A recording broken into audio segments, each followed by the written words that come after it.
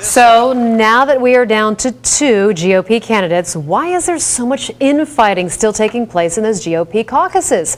Doesn't Romney pretty much have the nomination now? Ben has the reality check you won't see anywhere else.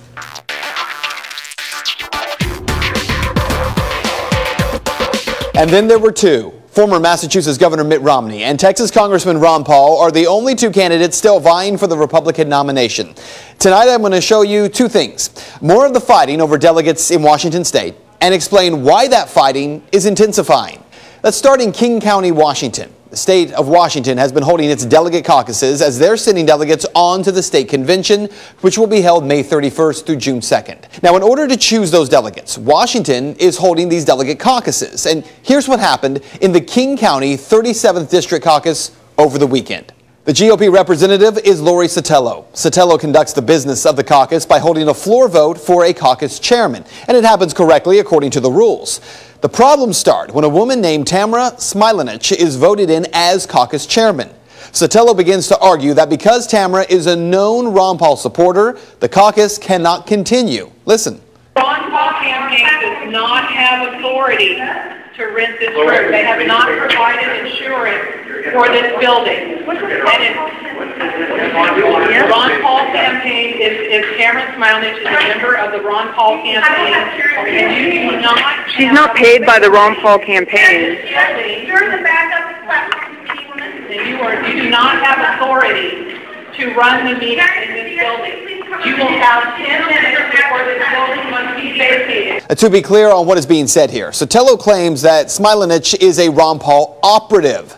And therefore, in order for the caucus to continue, the Ron Paul campaign would have to pay for the insurance on the building and pay to rent the venue, which of course doesn't make sense at all, nevertheless. What I tried to explain to Tamara, what I explained to the Ron Paul campaign and their national campaign, and what I explained to Tamara in private, is that when a campaign, a political campaign, takes over a caucus, they are now the national campaign responsible for providing insurance, providing balloting, providing the liability for anything that goes on in this building. The majority of people in the room begin to argue with Sotelo, asking what being elected caucus chair has to do with insurance liability. And then they even ask where the rule can be found in the list of Washington state GOP rules. Can I request that, uh, that the chair of the county party show us in the rules where it says that if a operative or not operative of any particular uh, campaign gets elected to uh, the chair position, um, that then that campaign is then required to pay for the insurance and pay the rent. Where, where's, the, where's that in the rules? And once again, the rules are not being followed. So the caucus is actually moved outside where Emily Rinsink, who took much of that video, tells me that 11 delegates were voted on. There were 11 total and we got all 11 delegates for Ron Paul. I feel like there's this impression of Ron Paul supporters that we're here just to be disruptive and to infiltrate the party, but and I can only speak for myself, but that's that's not what it's about. We want to get involved I'm genuinely a conservative, and I just want to get involved in the Republican Party. So why is there such a fight in the Republican Party? Isn't it really all over? Didn't Romney already pretty much lock up the nomination? Well, actually, no. And this is what I've been telling you for months now. At its state convention, Washington will select 43 delegates to the RNC. Now, according to the delegate count on RealClearPolitics.com, in the state of Washington, Mitt Romney has 25 of those delegates already in his corner. Ron Paul has eight. But that's not true, because in the state of Washington, none of those delegates have been selected.